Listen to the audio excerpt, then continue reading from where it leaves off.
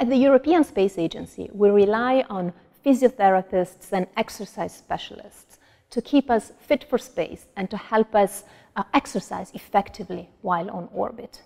If you have been diagnosed with osteoporosis or are recovering from a fracture, don't go it alone. There are experts who can help you devise a targeted exercise or rehabilitation program. So make sure to reach out because everyone needs a good team.